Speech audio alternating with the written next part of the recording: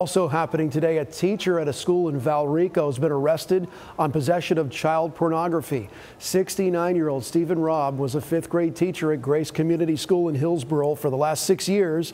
The sheriff's office says deputies conducted a search warrant on Robb's email account and they found the images. Deputies say he also had images of a current student fully clothed in his classroom. Sheriff Chad Chronister telling us today, quote, it's sickening to know this man was entrusted to educate our young children and was exploiting children online. We did reach out to the school. They told us the teacher resigned back on March 20th after learning about that investigation.